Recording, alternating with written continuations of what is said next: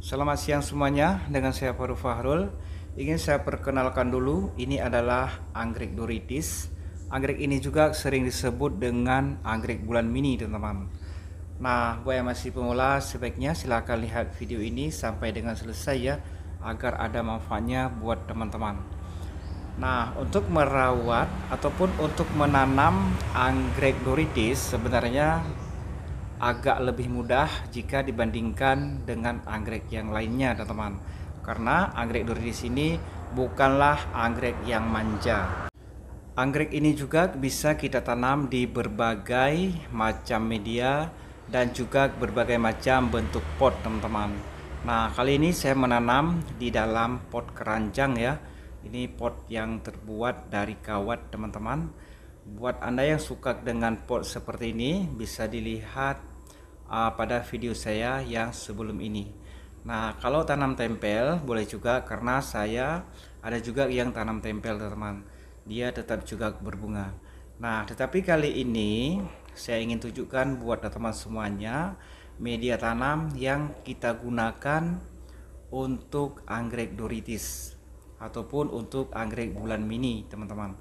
Nah di bagian paling atas saya meletakkan pecahan batu bata dan di bagian bawahnya saya menggunakan sabut kelapa yang bentuknya kasar-kasar seperti ini. Anggrek doritis ini juga sebenarnya lebih banyak memerlukan cahaya matahari jika dibandingkan dengan anggrek yang lainnya seperti anggrek bulan. Nah untuk penyiraman kalau media tanam yang seperti ini ini teman-teman boleh melakukan penyiraman setiap hari karena media tanamnya ini kasar-kasar dan masih cukup banyak ruang ataupun rongga di antara media tanam ini ya. Jadi tidak membuat akar anggrek teman-teman mengalami busuk akar. Nah, anggrek ini juga sebenarnya sangat mudah berbunga dan cocok sekali untuk Anda yang masih pemula. Sedangkan untuk pemupukan dan penyemprotan hama itu sama dengan yang kita lakukan pada anggrek yang lainnya teman-teman. Baik itu anggrek bulan ataupun anggrek dendrobium. Untuk penanaman anggrek doritis ini sebenarnya Anda bisa melakukan di dalam pot plastik ataupun pot yang terbuat dari tanah liat. Jadi tidak ada bedanya teman-teman Cuman yang beda adalah ketika kita lakukan penyiraman. Untuk media tanam yang seperti ini dan pot yang seperti ini, maka kita harus melakukan penyiraman itu hampir setiap harinya.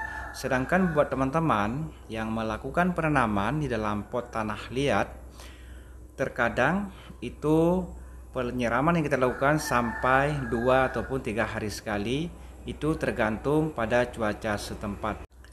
Intinya adalah jika media tanam masih lembab, maka kita tidak perlu melakukan penyiraman lagi. Tetapi jika media tanamnya sudah kering, walaupun kemarin kita sudah lakukan penyiraman, maka hari ini kita harus melakukan penyiraman lagi. Dan yang terakhir, tak lupa saya mengucapkan ribuan terima kasih buat sudah berkunjung. Semoga ada manfaatnya.